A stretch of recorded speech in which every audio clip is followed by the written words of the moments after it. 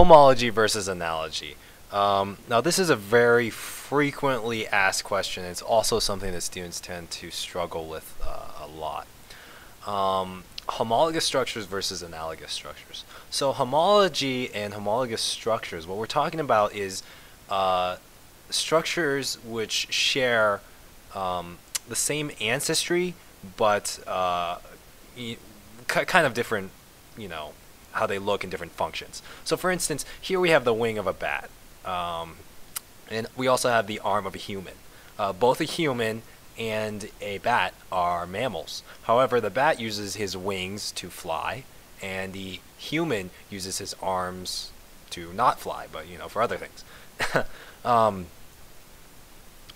so this is what's called uh, homology or homologous structures, the wing of a bat and the arm of a human.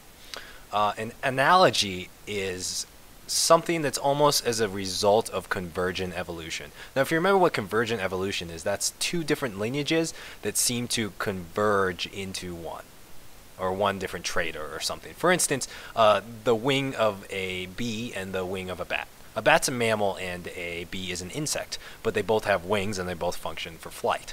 However, these are analogous structures, analogous structures, because they do not have a same common ancestor.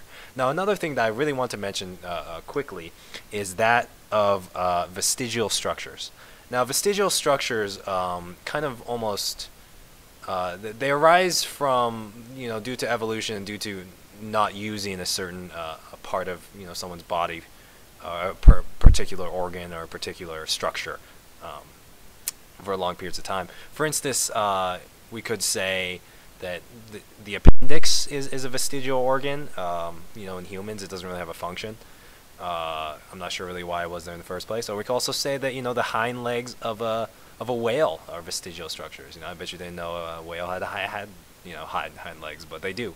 And uh, you know they used to be terrestrial animals, but then you know they just didn't have the use for the hind legs anymore. But there are still uh, you know these vestigial hind leg structures there.